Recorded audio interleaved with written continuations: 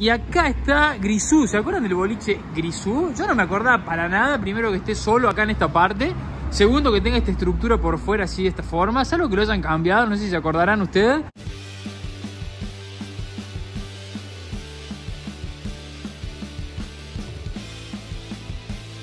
¿Cómo están gente? ¿Cómo andan? Arrancamos un nuevo capítulo del canal, un nuevo capítulo de cultura y circo y estamos en este momento en la ciudad de San Carlos de Bariloche, provincia de Río Negro, República Argentina, un lugar impresionante para ir a conocer. El centro cívico se lo puede disfrutar y ver de una forma espectacular y vamos a ir también hacia el otro lado de allá, donde la imagen es, a ver si se puede ver un poquito. Miren lo que es eso al fondo. Las montañas ya con el pico bastante nevado, el lago. Así que gente, bienvenidos a un nuevo capítulo del canal. Bienvenidos a la ciudad de San Carlos de Bariloche. Dale, que arrancamos.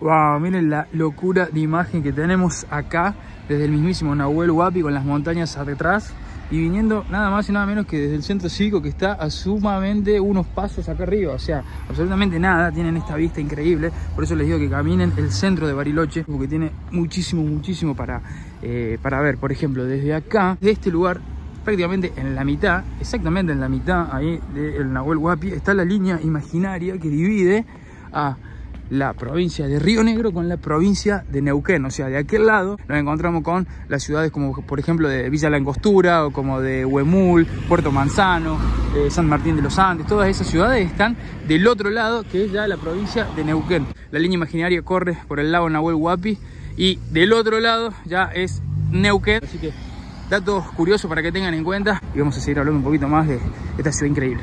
Para empezar a hablar un poquito de Bariloche hay que arrancar pensando por qué se llama Bariloche y a qué se le atribuye el nombre. La palabra Bariloche viene de la palabra Buriloche, con B corta y U, que fue una palabra mapuche que se la pusieron los mapuches del lado chileno a los que vivían de este lado, porque significa la gente que vive del otro lado de la montaña, ese es el significado que tiene. Entonces, por esa razón Bariloche se llama de esa forma. Bueno, algunos datos curiosos también para tener en cuenta mientras tengo esta imagen espectacular de fondo, que es hermosa. Por ejemplo, acá en Bariloche se creó en su momento satélites que en este momento están girando en el espacio a través del INVAP. Fue un lugar de construcción de satélites muy importante acá en la ciudad de Bariloche. Y otro dato más, se hizo la barra más larga del mundo de chocolate con alrededor de 150 kilos de chocolate que se construyó en su momento. ¡Qué ahora nomás. rico! En el año 2022, o sea, ahora en este mismo año se hizo la barra más grande de chocolate acá en Bariloche. ¿Sabes dónde se vamos a verlo o no? No, no, no, hay, no, no sé dónde está la barra de Bariloche. Lo una, es voy una a averiguar. curiosidad. Lo voy a averiguar. Es una, es una curiosidad, se hizo acá con gente de chocolateras de acá de Bariloche que mezclaron chocolate blanco, chocolate negro, 150 kilos de chocolate y salió la barra de chocolate más grande del mundo. Qué rico. Se hizo acá en Bariloche. Bueno, obviamente el famoso cartel de Bariloche que está acá sobre el Nahuel Huapi, sí o sí tienen que venir a ver. La imagen es impresionante, miren, ahí está toda la gente sacándose fotos desde acá y tiene la imagen del lago y de las montañas al final con los picos nevados que me parece una locura. La combinación de paisaje eh, con la ciudad en esta parte es increíble, la verdad que nada que envidiar con ninguna otra ciudad del mundo, sino todo lo contrario creo, es las otras ciudades le tienen que envidiar acá Bariloche las imágenes impresionantes que uno puede disfrutar. Acá ya llegué en contra del lago Nahuel, Guapi. Miren, el agua es bastante cristalina acá en contra, ¿eh? impresionante. Se ven las piedras ahí abajo y miren allá al final todo el paisaje con las montañas. ¡Wow! ¡Qué locura! Y después la combinación de montaña con la ciudad que va creciendo y se va construyendo todo alrededor, con un parque que hay acá para, para venir a dar una vuelta y para disfrutar bueno, de la vista, como les digo, hacia allá, hacia todo el lugar y también del de el cartel de, Bariloche que está acá de este lado. Algo para aportar también, otra curiosidad, aparentemente en este lago Nahuel Huapi existe el Nahuelito. Eh, una figura que incluso se habla de que existía, hablaban de ella antes de la fundación de la ciudad, o sea, una leyenda que existió durante muchísimos años, que sigue existiendo y que atrae a los turistas a ver si lo encuentran. A ver si alguien lo puede ver al Nahuelito como una criatura prehistórica que tendría que estar dando vuelta acá por este lado, por el mismísimo eh, lago Nahuel Huapi, tendría que estar dando vueltas por acá el Nahuelito, algo que le sirvió mucho al turismo, porque mucha gente viene incluso por eso, con la idea de recorrer acá el lago y encontrarse con el famoso Nahuelito. Otro dato curioso más es que por eh, Bariloche habrían pasado muchos nazis en su momento, aparentemente incluso dicen que Hitler habría estado por estos lugares, de que no se habría suicidado en el búnker. Esa historia viene, bueno, de, la época cuando se finalizó la Segunda Guerra Mundial y que muchos... Eh, eh, alemanes, muchos nazis vinieron hacia la Argentina, refugiándose acá hasta el día de su muerte, inclusive el mismo Adolf Hitler.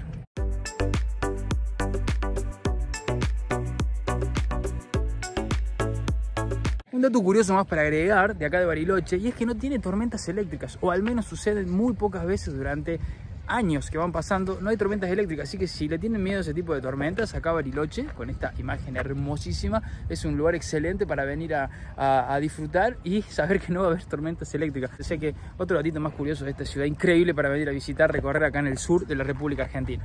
Wow, esto me parece fascinante, estas playitas de piedra que se arman acá eh, sobre la costa de, Bariloche, miren, la imagen es hermosa, ya toda la ciudad y la gente puede venir acá al solcito con los perritos, con la familia, con los hijos, con quien sea, disfrutar de un pequeño parquecito de la playa de, piedras redondas, grandes. Es algo muy particular en el sur que haya em, playas así de piedra. Y miren lo transparente del agua. Es increíble, el agua es sumamente transparente, ingresando incluso muy adentro hacia el lago, recién después va saliendo con esa imagen increíble, pero me llama mucho la atención este tipo de playitas, es un dato característico más y curioso de Bariloche, del sur en general, pero miren, esto es hermoso, esto es una locura de, paisaje, venir a, disfrutar de, una playita así, con toda esa imagen, con el Nahuel Huapi y al final encima los picos nevados. No, es hermoso, es una de, de las ciudades creo más lindas de la Argentina, sin lugar a dudas para venir a, recorrer y disfrutar. Una curiosidad más para tener en cuenta, la ciudad de San Carlos de Bariloche está ubicada dentro del Parque Nacional Nahuel Huapi, que este Parque Nacional conforma las siete maravillas naturales de la Argentina. Por lo tanto, algo más interesante para conocer y para saber de San Carlos de Bariloche está ubicado dentro del mismísimo Parque Nacional Nahuel Huapi. Y un datito para agregarle, si vienen y quieren recorrer todo en transporte público, es una buena eh, opción. Sacan la tarjeta SUBE y la cargan y acá sirve y funciona para ir hacia todos los lugares por un precio muy bajo, que está muy bueno eso. Y si no, pueden hablar con la guía Mai, que le puede comentar también. Eh, muriendo de calor. Eso estaba por decir, hace mucho calor, está pegando el sol de una manera hermosa, pero el día está espectacular y está haciendo calor. Algo más para agregar, por ejemplo, nosotros vinimos desde el aeropuerto en taxi y nos salió dos mil pesos, a 300 el, dólar, eh, pagamos básicamente unos unos 6 dólares para venir desde el aeropuerto, 7 aproximadamente, pero es un viaje muy largo, son 20, 25 minutos en auto, el aeropuerto para que lo tengan en cuenta está bien retirado de acá de la ciudad. Hay que tener en cuenta que estamos en temporada baja, quizás si viene en julio, diciembre, enero, que es una temporada alta, también es poco más. Quizá también saca más caro, exactamente. Una muy buena impresión que me estoy llevando de Bariloche, que me encanta y que es de turismo internacional, como que la gente está muy bien preparada para eso, es que cada vez que uno quiere cruzar una calle, una avenida, una peatonal, autos, motos, camiones, el que sea, se frenan y enseguida te hacen señas para que pase eso, o sea, le dan mucha prioridad al peatón y uno que anda siempre de a pie, recorriendo los lugares, las calles y chocándose con cosas increíbles que siempre lo recomiendo. De a pie. El que anda de a pie se encuentra con cosas hermosas. Si vos salís a caminar a las ciudades, te sorprende. A veces algo que no tenías planeado, lo terminas disfrutando un montón. Así que ténganlo en cuenta, caminen tranquila a la ciudad. De a, pie. porque la van a pasar genial y los van a respetar un montón, que eso me parece espectacular. Aplauso para la gente de Bariloche. Estamos pasando abajo del famoso arco del centro cívico que da al centro después y por el medio de la calle nos están a punto de chocar. Vamos a correr un poco. Ahí está.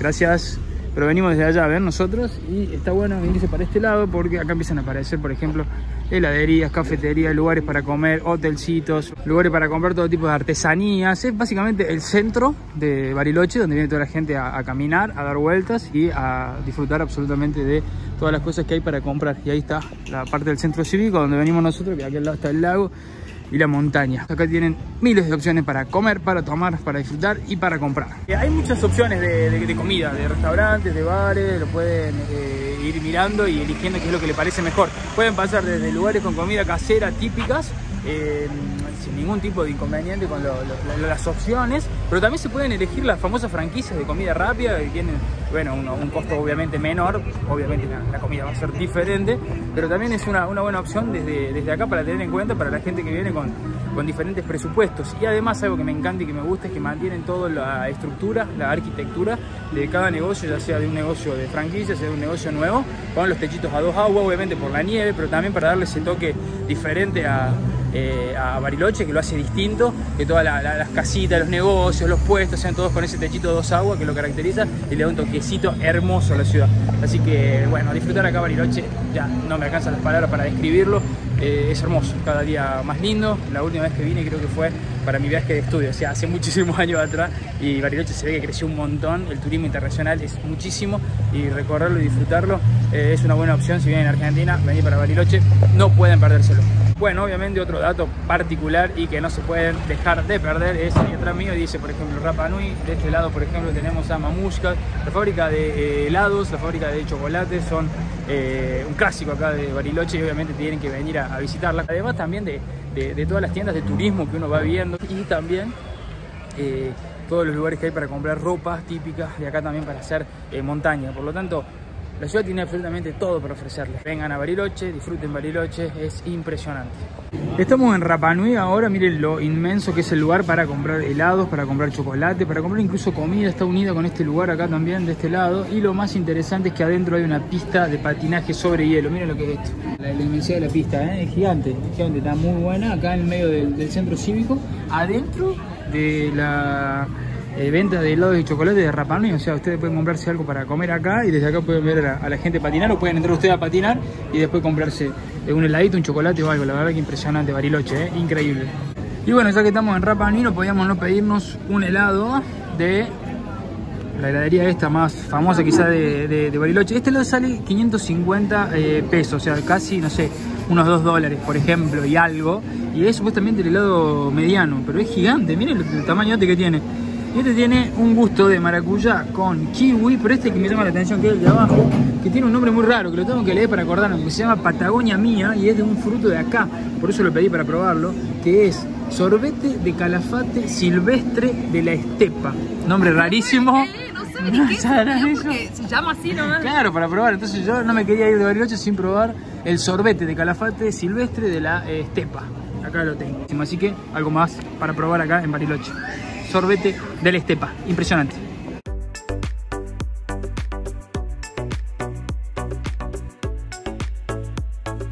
Ahora estoy en una parte que creo que es la nostalgia misma de todo lo que vinimos a Bariloche y que estos lugares sigan estando de esta manera. Creo que se van a dar cuenta de lo que les digo. Miren, lo que hay acá a mi espalda.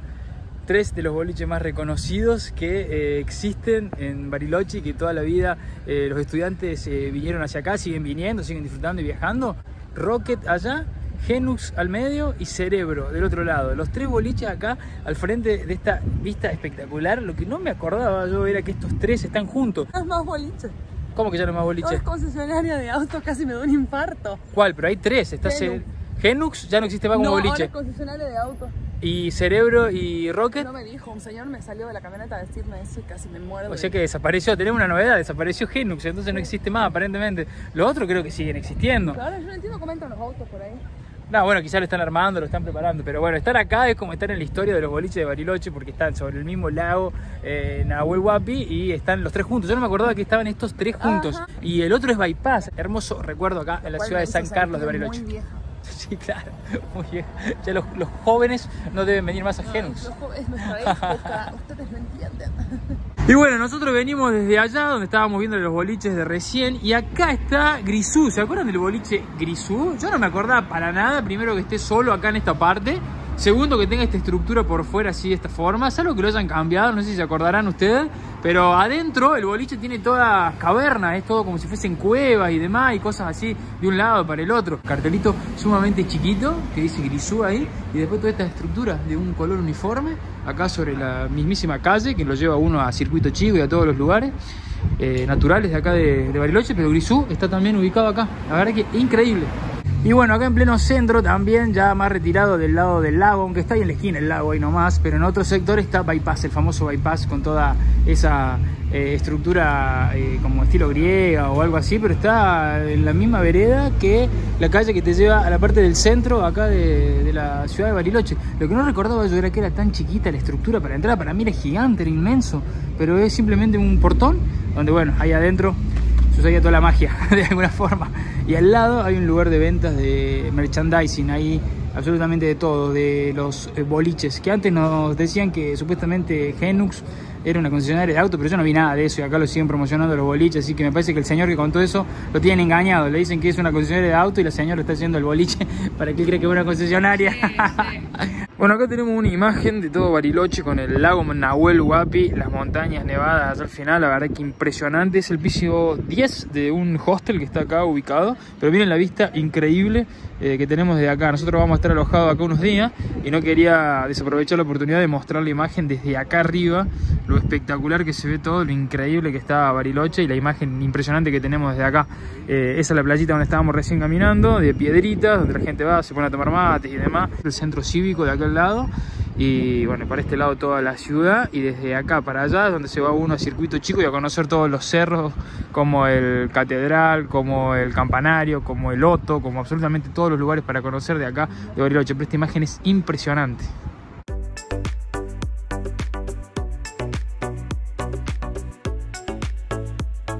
Y así gente desde un café muy particular me llamó la atención porque dice que es el primer café de acá de Bariloche, el café más antiguo, es de a ver, ¿de dónde dice? Es el café más antiguo del 1 de enero de 1966. Aparentemente, esa fue la fecha que sirvieron el primer café. Desde este mismísimo lugar le damos dando fin a este recorrido por la ciudad de San Carlos de Bariloche, una ciudad espectacular, increíble para venir a visitar. Eh, como le digo siempre, lean mucho, puede llevarlos a lugares increíbles, así como eh, la ciudad de San Carlos de Bariloche. Suscríbanse al canal, activen la campanita si les llegan todas las historias de todo lo que vamos subiendo, de, de todo lo que vamos recorriendo y conociendo. Pónganle me gusta, comenten absolutamente lo que quieran y nos estamos viendo en la próxima.